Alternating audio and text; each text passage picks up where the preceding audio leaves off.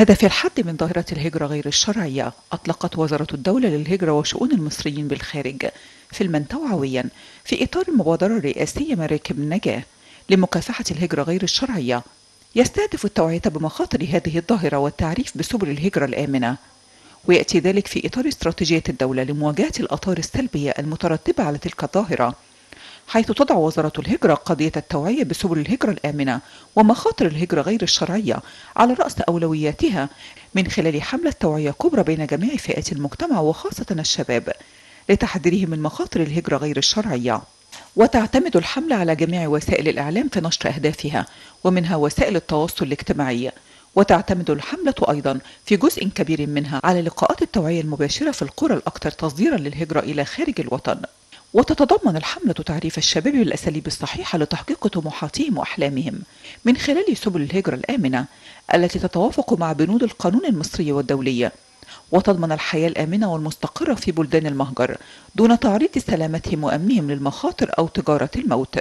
ولمواجهة تلك الآفة أكد البعض على ضرورة تسليط الضوء على ما تتيحه الدولة المصرية من فرص بديلة آمنة للشباب. من خلال فرص العمل المتوافرة بالمشروعات القومية. وعلى نفس المنوال طلب أعضاء بمجلس النواب بضرورة وجود عقوبات رادعة على السماسرة الذين يغرون الشباب بالسفر إلى الخارج وبيع الوهم لهم بتوفير فرص عمل جيدة. كما طلب بعض الخبراء المجتمع الدولي بضرورة التضامن لمواجهة هذه الظواهر ذات الأبعاد الأمنية والسياسية والاجتماعية التي تؤثر على استقرار الدول المستقبلة للمهاجرين غير الشرعيين.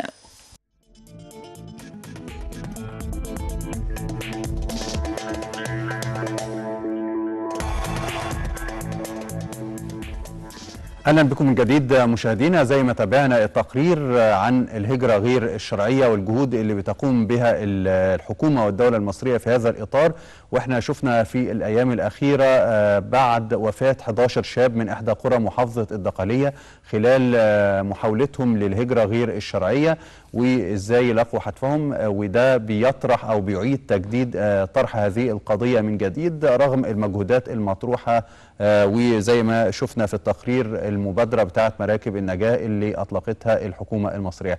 هنتكلم أكتر عن هذا الموضوع مع الأستاذ محمد القزاز نائب رئيس تحرير الأهرام المتخصص في الهجرة غير الشرعية. أستاذ محمد أهلا بيك وصباح الخير يا فندم. صباح النور. اولا قبل ما نتكلم عن هذا الموضوع المتجدد بين الحين والآخر خصوصا لما يكون في حادثة زي الحادث الأخير اللي راح ضحيته 11 شاب في عمر الزهور. لو تعرفنا سريعا للي مش متابع إيه الحادثة الأخيرة اللي حصلت لابناء إحدى قرى محافظة الدهليه طبعا دي مأساة تدمي القلوب يعني. آه حوالي 70 شاب من قرية واحدة وده كمان رقم لازم نقف عنده.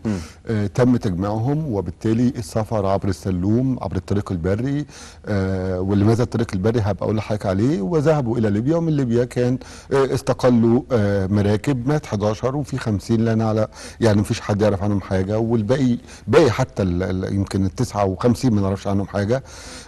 في مأساة كبيرة جدا إن إن شباب في عمر الظهور يموتوا غرقا إن الباقي لا, لا يعلم أحد عنهم شيئا. لكن دي بتفتح حاجات كتيرة جدا هذه القضية تحديدا أو هذا الغرق الشديد. ده بيذكرنا بالحادث الشهير في رشيد عام 2016 تحديدا سبتمبر 2016 برضك لما كان فاجعة فجعت بها مصر من موت شباب في هذه السن في ذلك الوقت.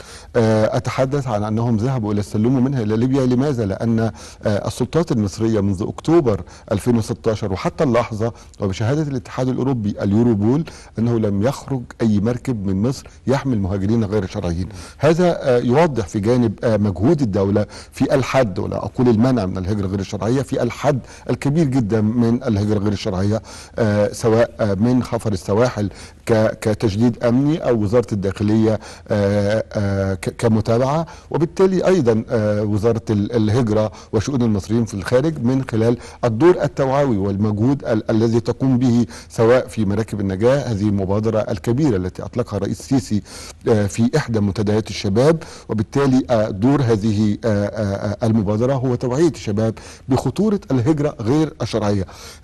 أقف عن خطورة الهجرة غير الشرعية وليس خطورة الهجرة. الهجرة هجرة مطلوبة من دائما وأبدا لكل الناس.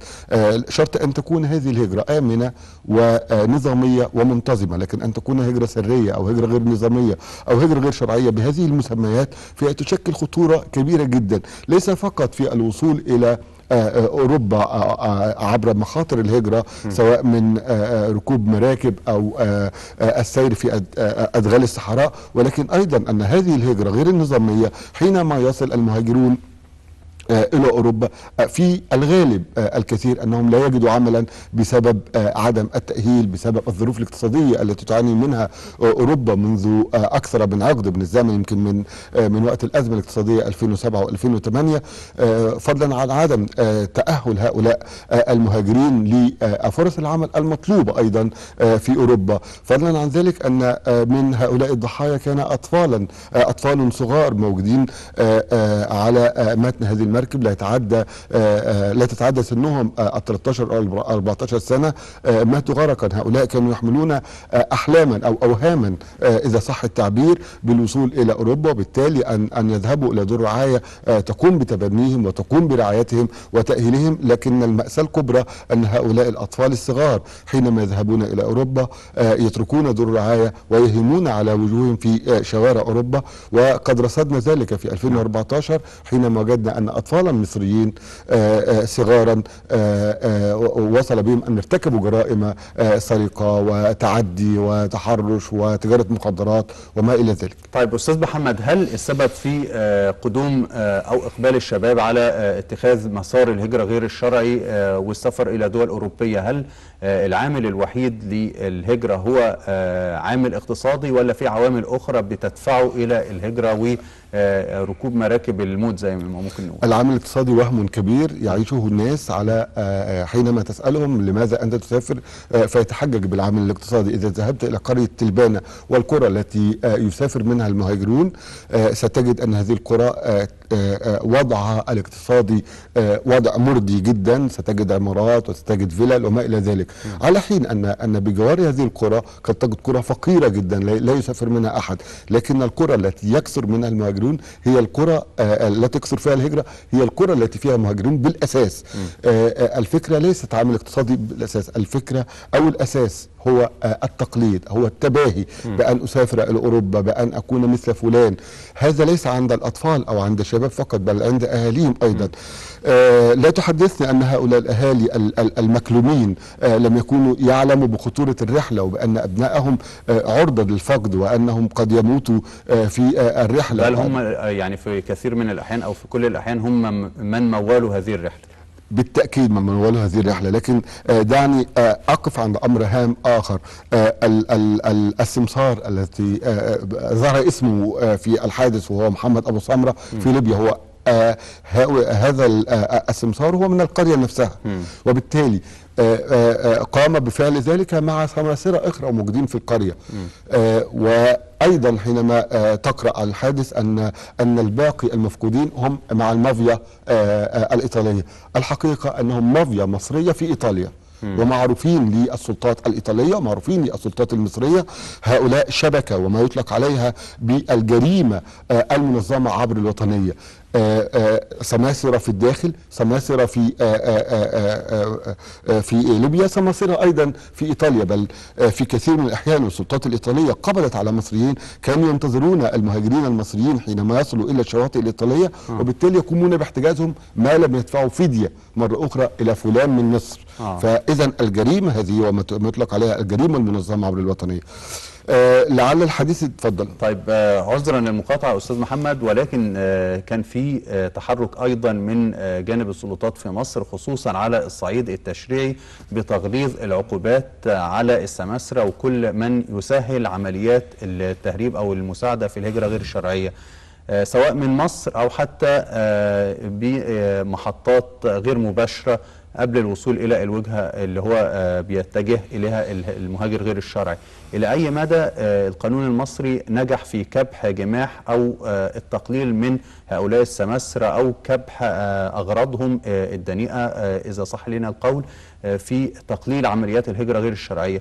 وهل برضو القانون ممكن يطبق على أولياء الأمور أو الأهالي اللي سهلوا لأولادهم آه، عملية الهجرة من خلال إعطائهم أموال للهجرة غير الشرعية؟ طيب أنا آه، ده سؤال مهم جدا بس في التقرير كان هناك حديث عن أن آه، نوابا في البرلمان يطالبون بتغليظ العقوبه هؤلاء النواب لم يقرأوا آه، ما شرعه البرلمان المصري في نوفمبر آه، آه، البرلمان 2016 السابق، آه. في البرلمان في آه، بالقانون رقم 82 لسنة 2016 الذي نشر في الجريدة الرسمية بتاريخ 7 نوفمبر 2016 هذا القانون يغلظ العقوبات على السمسار وعلى المهرب وعلى كل من يشترك في عملية التهريب عدا المهاجرون لأنهم ضحايا لأنه تم التغرير بهم. آه لا أظن أن آه آه أن أي قانون في أي دولة يعاقب الأهل بأنه آه سمح لابنه آه بالسفر أو أنه يعاقب المهاجر لأنه آه فكر في الهجرة لأنه في الغالب يتم التغرير به. يزين له آه هؤلاء الشياطين أو هؤلاء السماسرة آه آه آه الهجرة إلى أوروبا بأنه سيجد فرصة عمل بأنه سيكون مثل فلان وبالتالي يداعب أحلامهم الصغيرة آه ويحول من الأحلام إلى خيالات وإلى أوهام وبالتالي ينتهي بهم المطاف إن لم يكن غرقا في البحر فلا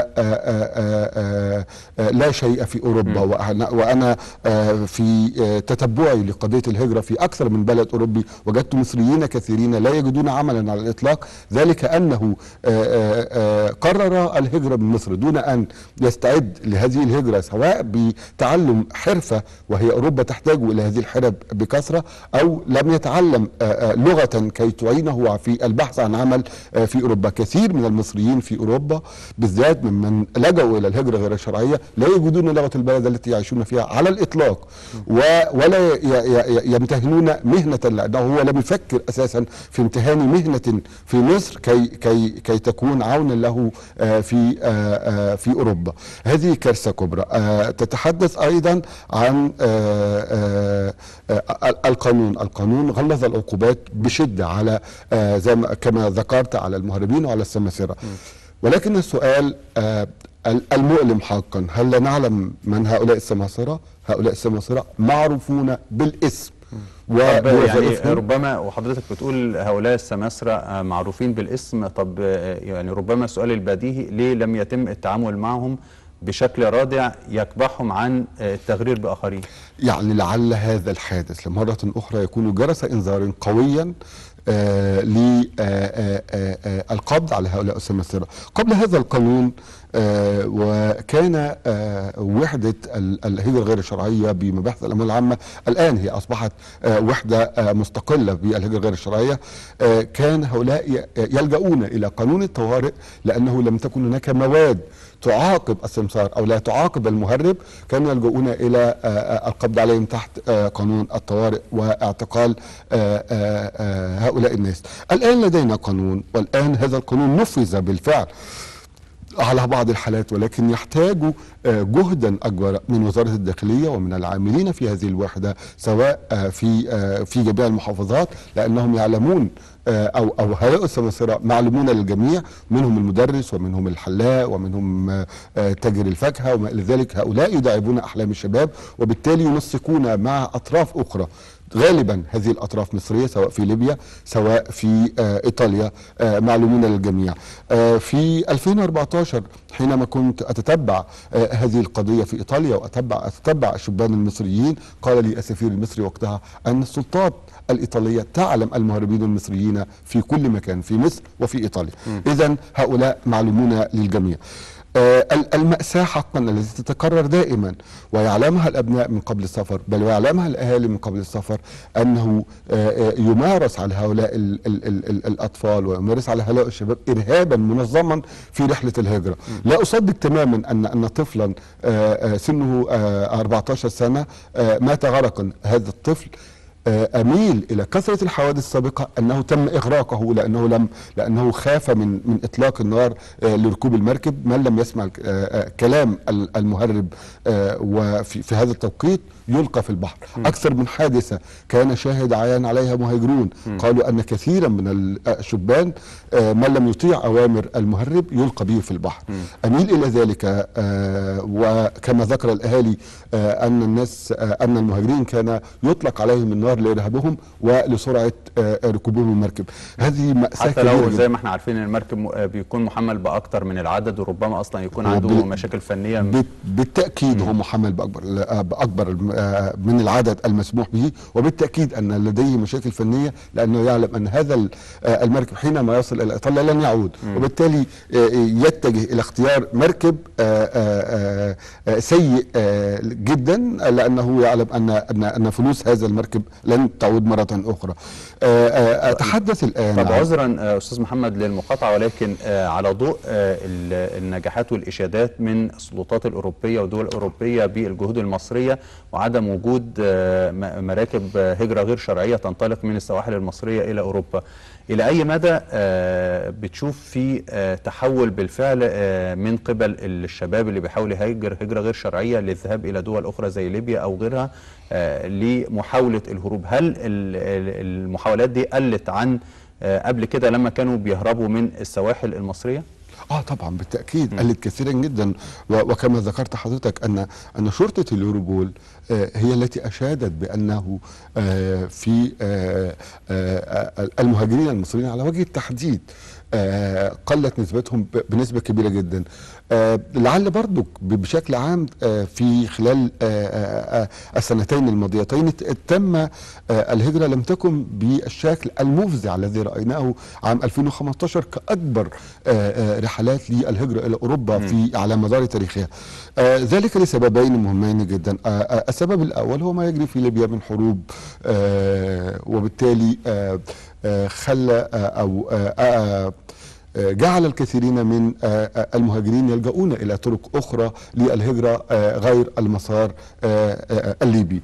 الأمر الآخر وهو كورونا وتجديد الإغلاق من الدول الأوروبية آه، لمنع المهاجرين وهي وان كانت إلى حين ولكن في كل الأحوال تم الأعداد لم تكن كبيرة، لكن دعنا نتحدث عن أمر مهم جدا. منذ آه، نشر جريدة الأهرام تقريرا أن ألمانيا تطلب 400 ألف عامل عامل أتحدث عن عامل. اذا أوروبا تحتاج حتى اللحظة إلى إلى عمال آه، أصحاب مهارات بعينها. فلماذا لا نفكر؟ بالفعل نفكر ولكن قصدي لماذا لا يلجأ هؤلاء ال- الشباب الراغبون في الحلم آه، بالسفر إلى أوروبا إلى تعلم هذه المهارات ومن ثم السفر بطريقة آمنة ونظامية ومنتظمة. آه، وزيرة الهجرة افتتحت خلال الفترة الماضية المركز الألماني ل تجهيز آه، من يرغب بالسفر بحيث يتعلم لغة ويتعلم آه، آه، مهنة ت- تؤهله للسفر إلى أوروبا، لماذا لا نفكر في هذا الطريق؟ هم دائما يفكرون في الطريق الأسهل أننا حينما نذهب سنتعلم اللغة، أنما حين نذهب سنتعلم رغم مهنة. هو مش الطريق الأسهل برضه كما يعني هو يعتقد. بيخيل الي أنه يخ- الطريق الأسهل لكن هو الطريق تمام.